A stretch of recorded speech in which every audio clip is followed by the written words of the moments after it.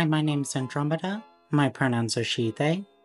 And today we'll be discussing debates about queer terminology in Germany during the Weimar era and the emergence of a queer identity alongside respectability politics within the homosexual emancipation movement.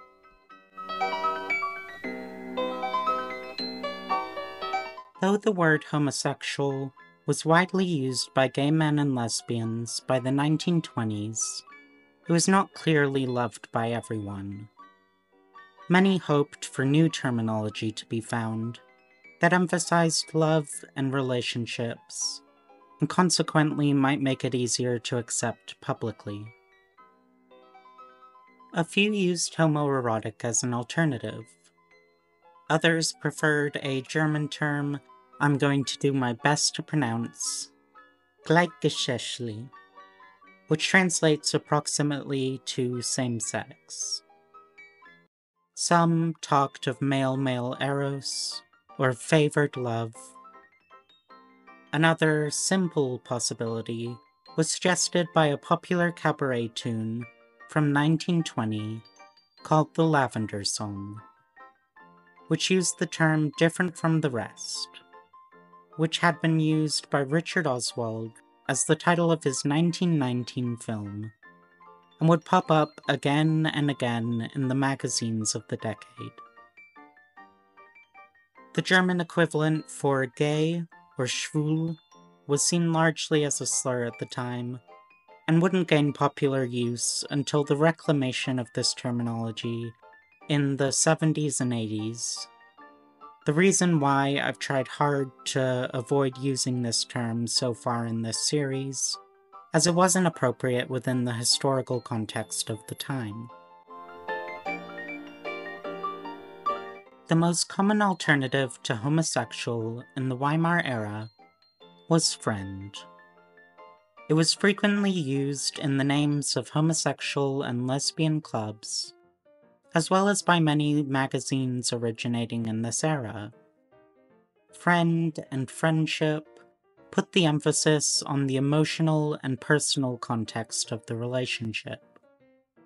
People in the know might be able to infer what kind of relationship was meant by the context, whereas others, ignorant of the double meaning, could innocently assume that an ordinary friendship was being mentioned. Other options were terms associated with sexological theories of gender inversion, such as third sex and Uranian. Though these were not liked by many, especially masculine gay men, were not fond of the increasing links of intersexuality and effeminacy with homosexuality that these terms contributed to. Female homosexuals use the female form of friend, Freundin, as well as lesbian, and occasionally tribade, though this term was rare by the 1920s. Alternatively, they might refer to the Greek poet Sappho. Very common as well were terms describing the gendered appearance and role of a woman.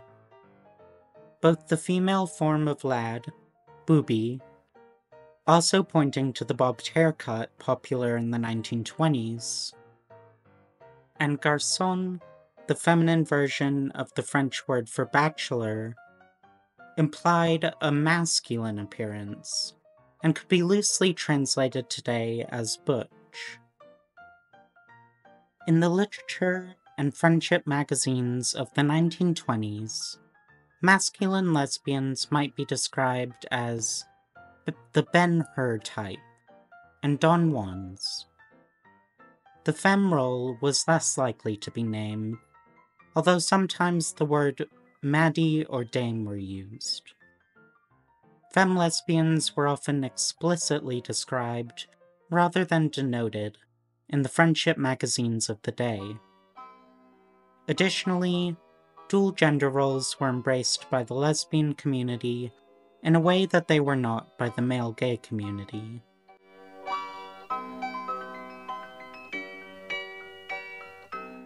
As many scholars have argued, there is good reason to believe that something like a homosexual identity was becoming firmly articulated in the two decades on either side of the turn of the century.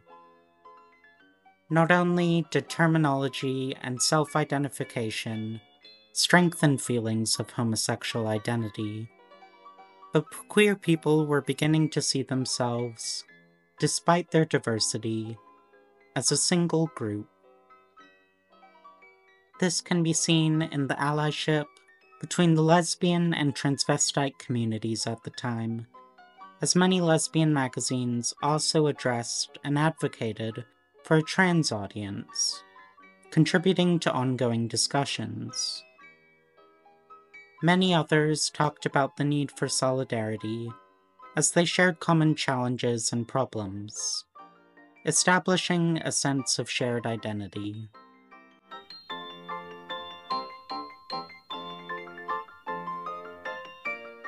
In the early 1920s, the magazine Friendship laid the groundwork for a new political approach based on winning respectability for homosexuals.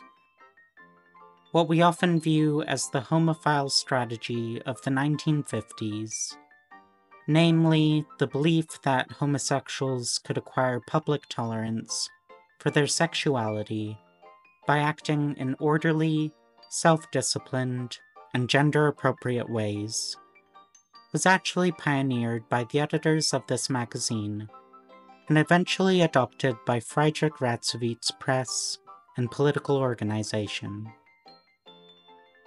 Respectability politics continues to be a part of major debates regarding homosexuality, advocating for a strategy of accommodating to the wants and norms of heteronormative society as a way of fitting in and gaining public support. Often, this approach marginalizes and oppresses other queer people who don't fit into binary cishet categories, putting them down as a method for gaining self acceptance and not deconstructing or undermining any of the structures which continue to harm and oppress the queer community. Let me know if you'd like to see a video covering respectability politics within the queer community. This strategy worked itself into the queer politics of Germany across the coming centuries, as many idealized and looked back nostalgically on the queer publications and periodicals of the Weimar era, which centered this approach slowing down the rebuilding and progress of the movement following the Second World War. Debates about queer terminology and allyship within the homosexual movement contributed to an emerging queer identity, which strengthened the movement.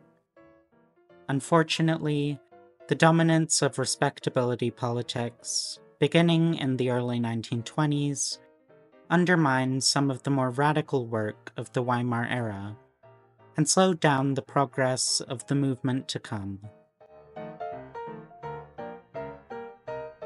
In the next video, we'll discuss prejudices around queer identities and the country's sodomy law in more detail. Thank you for watching. I hope you learned some valuable queer history and I'll see you in the next video.